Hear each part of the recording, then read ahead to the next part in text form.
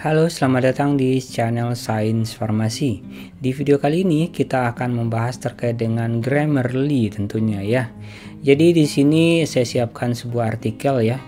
Di sini saya tampilkan aja artikelnya. Kebetulan artikel ini sudah uh, dapat LOE dan sudah juga sudah publish di JCS tentunya ya. Jadi ini adalah masih artikel mentah waktu kemarin. Jadi di sini saya akan berfokus pada Grammarly-nya saja. Nah, jadi kebetulan di sini saya sudah pakai Grammarly yang premium tentunya ya. Jadi apa saja yang dapat dilakukan oleh Grammarly Premium ini? Jadi kenapa Grammarly Premium ini worth it banget untuk digunakan ya? Dibanding yang free, yang free teman-teman juga bisa pakai tentunya dan ada beberapa fitur yang justru nggak kebuka di uh, Mendeley yang free ya. ya di misalnya fiturnya seperti ini. Dia akan kasih tahu uh, rekomendasi kata-kata yang lebih cocok di sini.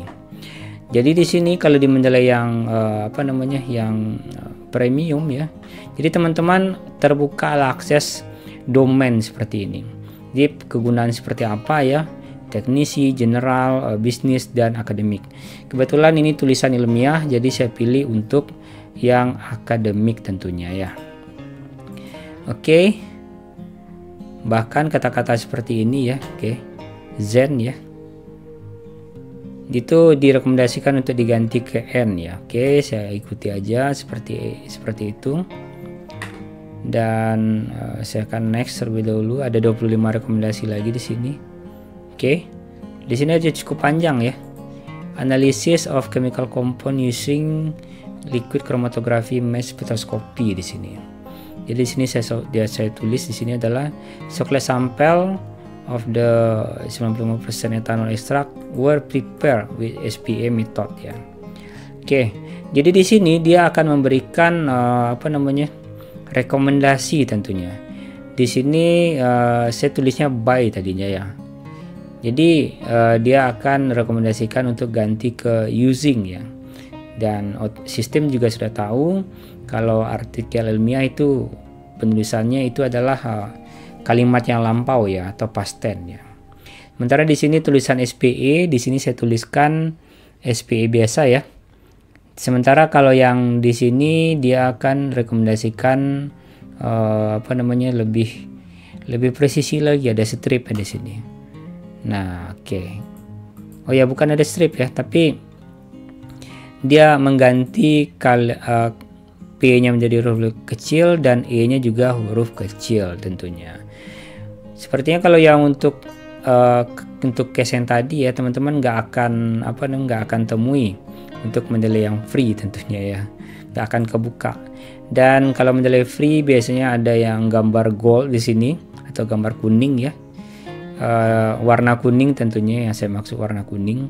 Itu sering muncul di sini dan fitur itu nggak kebuka tentunya ya. Bahkan fitur itulah yang kita butuhkan untuk uh, kondisi pengecekan grammar tentunya. Oke kita lanjut lagi. Di sini cukup panjang lagi feature more di sini.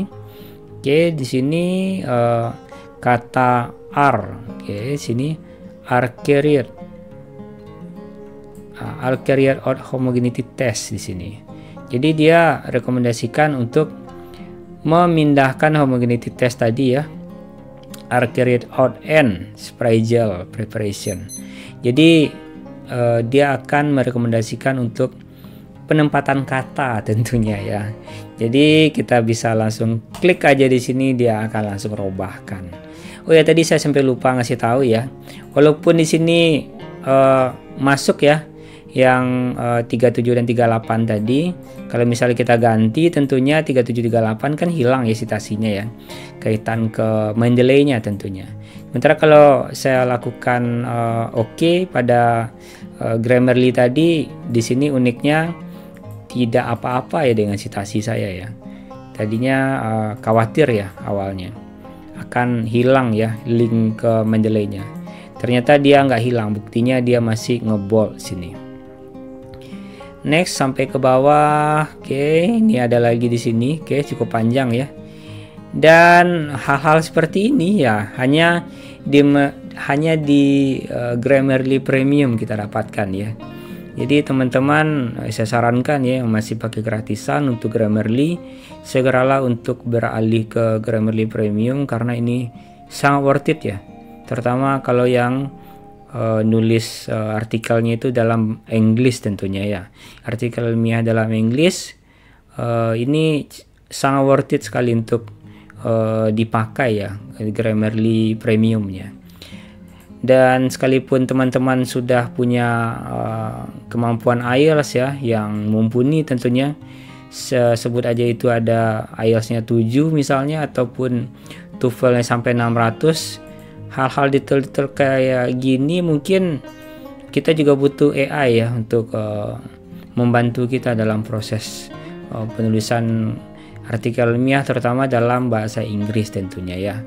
Oke semuanya segitu aja video kita kali ini dan saya sangat rekomendasikan untuk uh, menggunakan Grammarly Premium ya untuk penulisan artikel. Thank you yang sudah nonton video ini sampai habis dan sampai jumpa di video selanjutnya.